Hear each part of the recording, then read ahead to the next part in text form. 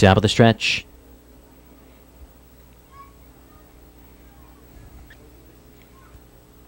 Here they come.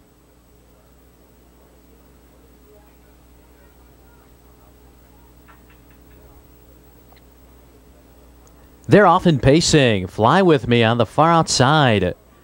Wheeling out for the lead, HP's Bad Boy. Showing pace on the rail in between horses, rolling in Dinero.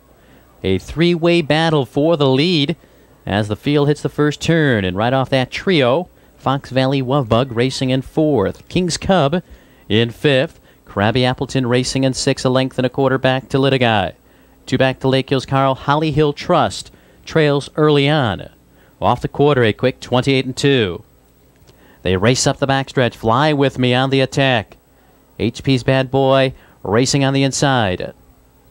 A length back to Rolling in Dinero. Fox Valley Wovebug, Crabby Appleton facing the breeze. He'll bring up Litigai. Now King's Cub to the outside. Racing along the rail, Lake Hills Carl, Holly Hill Trust joins the outer flow. They're battling away up top. Half timed in 58 and 3. From the outside, Crabby Appleton takes command. Fly with me racing in second, Litigai. On the outside, third. HP's Bad Boy smartly off the cones. Well positioned in fourth. King's Cub out there in fifth. Rolling in Dinero saves ground. Top of the stretch. Your leader, Crabby Appleton. With a quarter of a mile to go, it's Crabby Appleton out in front.